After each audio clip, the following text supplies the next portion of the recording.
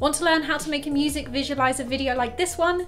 Great! Hey everyone, I'm Becca and I'll be showing you how to do this using Veed, the online editing software. You can join Veed for free today using the link in the description, or you can search for Veed, V-E-E-D, in your search engine and click the link. Once you have signed up and logged into Veed, you'll be prompted to create a new project.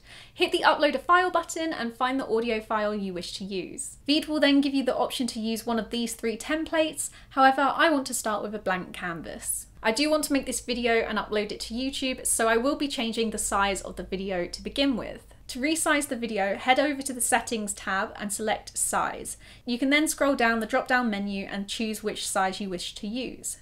To add an audio visualizer, head over to the Elements tab in the sidebar. Scroll down until you see Add Sound Waves. I'm going to press View All so I can see all the sound waves available for me. I'm going to select this round one here and Veed will automatically drop it onto your video canvas. You can now see that the sound wave has been added to the timeline on top of the audio file. To reposition your sound wave, click and drag on the sound wave. You can also enlarge it by dragging out the dots in the corners. I'm now going to press play so you can see what the sound wave looks like. I can also make adjustments to the sound wave itself. If I click on the sound wave in the timeline, this will open up the edit sound wave feature.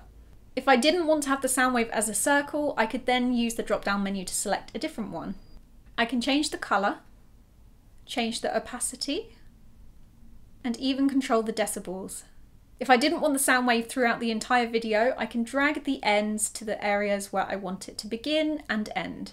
If I didn't want a black background, I can also change that by going to the settings tab in the sidebar and changing the colour of the background. You can also choose to have an image or a video as your background. You can do this by selecting the upload button on the sidebar and selecting upload video or image. You can see that the video clip is a lot longer than the music and the sound wave, so I'm just going to edit that. I can do this by selecting the video in the timeline and clicking the split button and then deleting the unwanted video. I'm also showing how to upload an image too. You can see that the image has been placed on top of the sound wave. I want it to be behind. I can go down to the timeline and click and drag on the image box and pull it under the sound wave box.